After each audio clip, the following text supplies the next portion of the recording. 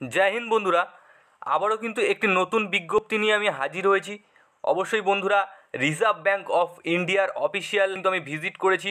তোমাদেরকে বলব বন্ধুরা, ভিডিওটা একদম শেষ পর্যন্ত দেখো, কবে থেকে ফর্ম ফিল আপ শুরু হচ্ছে, কতগুলো ভ্যাকেন্সি আছে, কবে ফর্ম ফিল আপ শেষ হচ্ছে, তোমাদের এলিজিবিলিটি ক্রাইটেরিয়া কি, কত টাকা লাগছে, অবশ্যই কিন্তু টোটাল তোমাদেরকে বলে দেবো। ভিডিওটা একদম শেষ পর্যন্ত দেখো।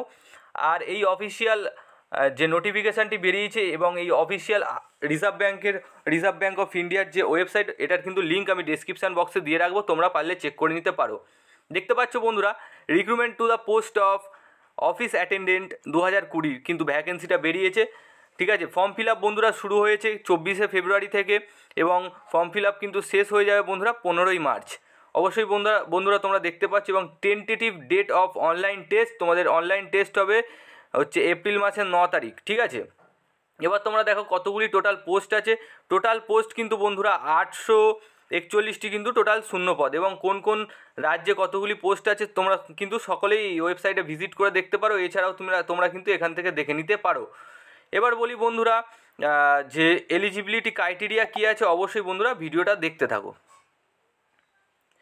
দেখতে পাচ্ছ বন্ধুরা, নিচে লেখা আছে যে অনেক কিছু তথ্য দেওয়া আছে, কিন্তু এগুলো দেখে লাভ নেই। যারা এক্স সার্ভিসম্যান আছে, তারাও কিন্তু এই পোস্টের জন্য এলিজিবেল সেসব সম্বন্ধেই লেখা আছে।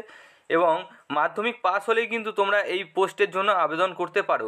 অবশ্যই বন্ধুরা, মাধ্যমিক পাস করলেই তোমরা এই পোস্টের জন্য আবেদন করতে পারো। এবার দেখো বন্ধুরা, কত এজ লাগবে? অবশ্যই বন্ধুরা, আঠেরো থেকে পঁচিশ বছরের মধ্যে কিন্তু তোমাদের বয়স হতে হবে অ্যাজ অন এক দুই দু হাজার একুশ। মানে বন্ধুরা দু হাজার একুশ মানে ফেব্রুয়ারির এক তারিখ দু হাজার একুশ পর্যন্ত কিন্তু তোমাদের আঠেরো থেকে পঁচিশ বছরের মধ্যে হতে হবে।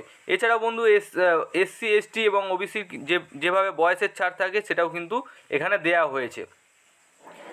এবার বলি বন্ধুরা, যারা কিন্তু গ্র্যাজুয়েশন কমপ্লিট করে ফেলেছো তাদের কিন্তু বন্ধুরা এই ফর্মটা কিন্তু তারা ফিল আপ করতে পারবে না, তারা কিন্তু এলিজিবেল নয়।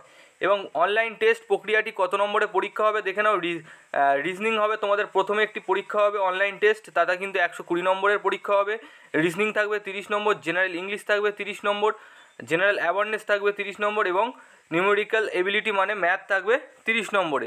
টোটাল কিন্তু টাইম হচ্ছে উনিশ নব্বই মিনিটের টাইম তোমাদের কিন্তু প্রথম পরীক্ষাটাই একশো কুড়ি নম্বরের পরীক্ষা হতে চলেছে।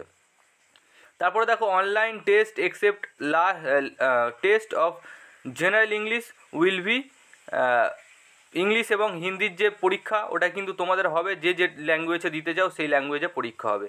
এরকমভাবে কিন্তু বন্ধুরা প্রসেসটা চলবে। আমি যেটুখানি দেখলাম বন্ধুরা ফর্মটা ফিল আপ করতে কিন্তু সাড়ে চারশো টাকা কিন্তু পেমেন্ট করতে হচ্ছে। অবশ্যই বন্ধুরা, তোমরা মাথায় রাখবে, সাড়ে চারশো টাকা কিন্তু পেমেন্ট করতে হচ্ছে।